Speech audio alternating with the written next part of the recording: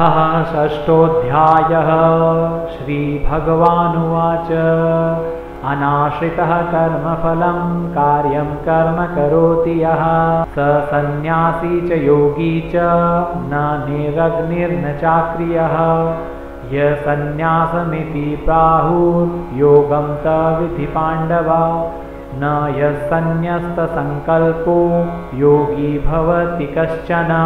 आरुरुक्षोर्मुनिर्योगं कर्मकारणमुच्यते। योगारूढस्य तस्यैव शमः कारणमच्युते। यदा हीनेन्द्रियार्थेषु न कर्म स्वनुषज्यते सर्वसङ्कल्पसन्न्यासी योगारूढस्तदोच्यते। उद्धरेदात्मनात्मानं नात्मानमवसादयेत्। आत्मेव यात्मनो बन्धुरात्मेव रिपुरात्मनः। बन्धुरात्मात्मनस्तस्य येनात्मेवात्मना जितः अनात्मनस्तु शत्रुत्वे वर्तेतात्मेव शत्रुवत् जितात्मनः प्रशान्तस्य परमात्मा समाहितः शीतोष्णसुखदुःखेषु तथा मानापमानयोः ज्ञानविज्ञानतृप्तात्मा कूटस्थो विजितेन्द्रियः युक्त इत्युच्यते योगी समलोष्टाश्मकाञ्चनः।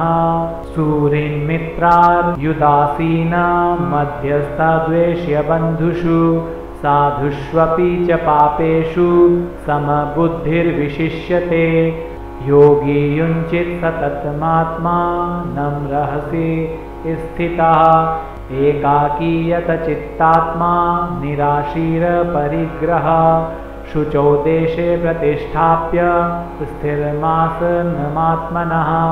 नात्युच्छ्रितं नातिनीचं चैलाजिनकुशोत्तरम् तत्रैकाग्रं मनः कृत्वा यत चित्तेन्द्रियक्रियः उपविश्यासने युञ्ज्योगमात्मविशुद्धये समं कायशिरोग्रीवं धारयन्नचलं स्थिरः सम्प्रेक्ष्य नासिकाग्रं स्वं दिशश्चानवलोकयन् प्रशान्तात्मा विगभीर्ब्रह्मचारी व्रते स्थितः मनः संयम्यमच्चितो युक्तः आसितमत्परः युञ्जनेवं सदात्मानं योगिं नियतमानसः।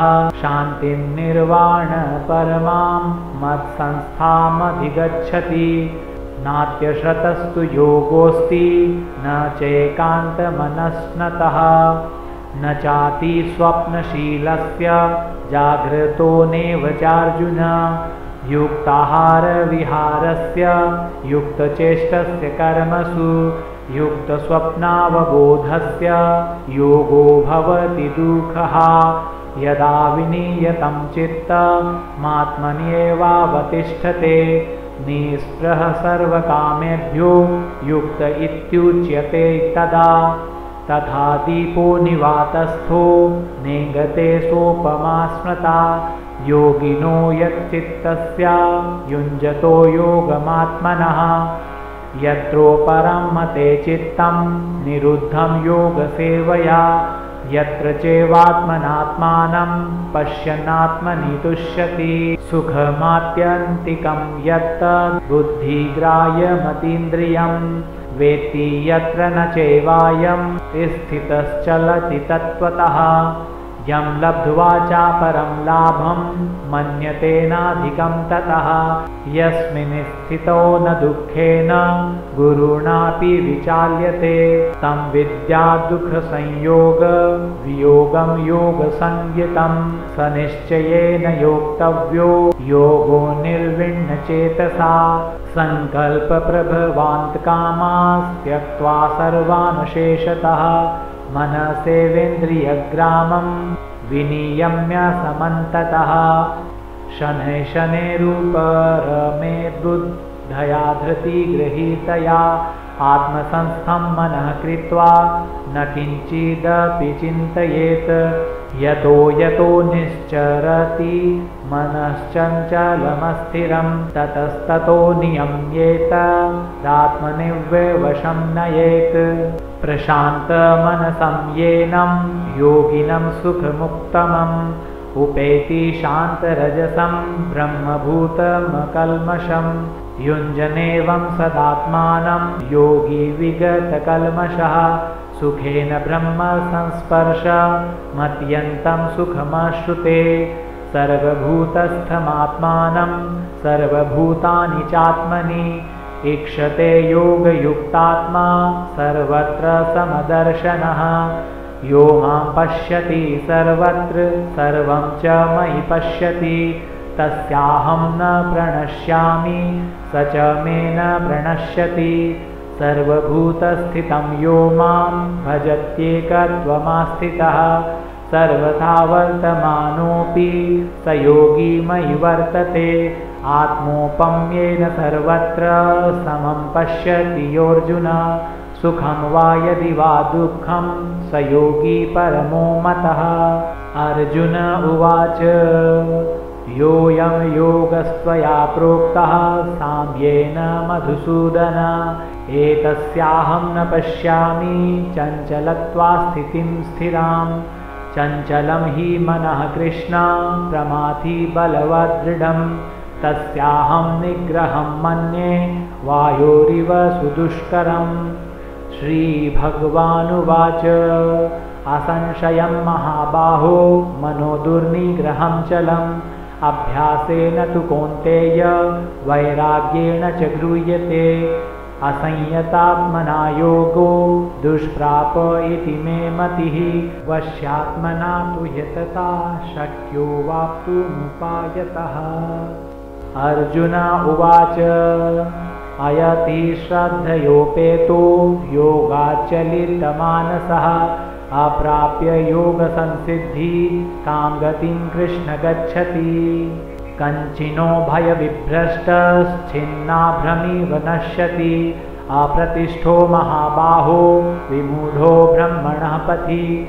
एतन्मे संशयं कृष्ण छेत्तुमर्हस्य शेषतः त्वदन्यः संशयस्यास्य छेत्ता न योपपद्यते श्रीभगवानुवाच पार्थनेहवेहनामुत्र विनाशस्तस्य विद्यते। न हि कल्याणकृत् कश्चित् दुर्गतिं तागच्छति प्राप्य पुण्ये कृतां लोकानुषित्वा शाश्वतिः समाः शुचीनां श्रीमतां गेहे योगभ्रष्टोऽभिजायते। अथवा योगिनामेव कुले भवति धीमताम्। एतद्धि दुर्लभतरं लोके जन्म यदीदृशं तत्र तं बुद्धिसंयोगं लभते पूर्वदेहिकं यत ते च ततो भूयः संसिद्धो कुरुनन्दन पूर्वाभ्यासेन तेनेव ह्रियते यवशोऽपि सः। जिज्ञासुरपि योगस्य शब्दब्रह्मातिवर्तते। प्रयत्नाद्यतमानस्तु योगी संशुद्धकिल्बिषः।